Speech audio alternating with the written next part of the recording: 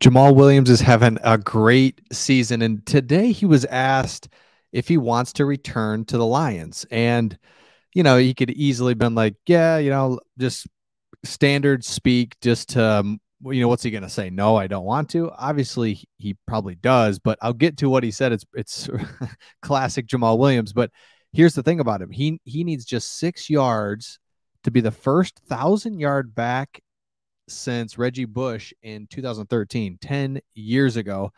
He also needs just one rushing touchdown to match Barry Sanders' record for a season. Of course, Barry did it in one last game, and Barry did it all the time. But I mean, Barry Sanders, come on. Just it makes you realize how good Barry Sanders was when you have a running back like Jamaal doing great, thousand yards, 16 touchdowns, whatever. And it's an, a great season. Barry did that every year. It's crazy, right? So anyway, I'll get back to Jamaal and what he said about returning to the Lions. But remember, we got him on a two year, $6 million contract.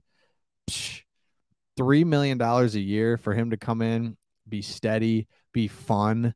I mean, really, he just fits. He, he's so fun. He's he's in the um, you know, every time he's mic'd up, the guy is just like a character. So love it. So he has asked, Hey, do, you know, do you want to come back? He says, Hmm, let me think about it. Spent two years here. I'm doing great. Do I want to come back? Do I want to come back to more blessings? Hmm. Let me think about that. That's your answer. So then they asked him, Hey, have you, you know, spoken with Brad Holmes? With who? With Brad. Brad who? Love it. Right. Let's stop talking about next year. I'm I'm going into a huge game against the Packers where I can get a thousand yards and match or break a single season record set by Barry Sanders. So I love how he handled that. And I love Jamaal Williams. And I hope that he returns. I hope that it, it gets worked out. I mean, because he's worth more money now. I mean, he's just proven he's a he's a really good back. But I also think he understands I want to be here. I want to be part of the Detroit Lions and what they're doing. And he fits a great role. Short yardage between the tackles. He's a great blocker.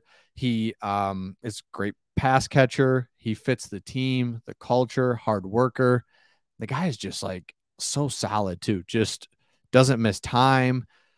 He's not injury prone. I mean, it just checks a lot of boxes for the team, and he and the and I think the team checks a lot of boxes for him. Where, man, you you're not going to be overused. You're going to be treated right. You're going to have another running back beside you this offseason. I think that's a priority. I think we've we've covered that enough now where it's a priority to get a running back room really solidified because I think the jury, in my opinion, the jury's still out on Swift. He had a great game last week against the Bears, but all year inconsistent, injured, slow, kind of tiptoeing through the hole hole at times.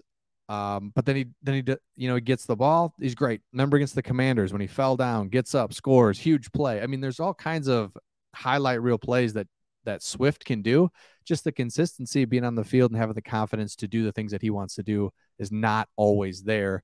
And then when you look at our third string, is it you know Craig Reynolds, Jackson, who's there too? So I I have a feeling we're going to address that in the offseason. We need somebody else other than Jamaal Williams, I assume will bring Jamaal Williams back that can provide the juice that we need um, in the backfield because you, you don't have just one running back. Nobody does uh, anymore where you just run one running back. You, by committee, you need three strong running backs. You're always going to be down a guy um, at times with with an injury. So Jamaal Williams clearly likes it here in Detroit, wants to come back. I love what he had to say. I think it was super appropriate. I love it here. Uh, of course, I want to come back. Oh, what are you? Are you kidding me? This is great. So he was with the Packers. So thankful that we got him. So look for him to really do something this this week, um, Sunday Sunday night against the Packers with everything on the line. And the more I think about it, the more excited I am because I was like, well, if it's not for a playoff spot, it's just kind of a letdown. But no, that's pressures off us if it's you know if the uh, Seahawks win, you know what? Pressure's off us. Let's go have fun, trick plays, go for it. Nothing to lose, and stop the Packers from getting in the playoffs on their home field would be just. Are you kidding me? That would be awesome. So let me know your thoughts in the comments about Jamaal Williams.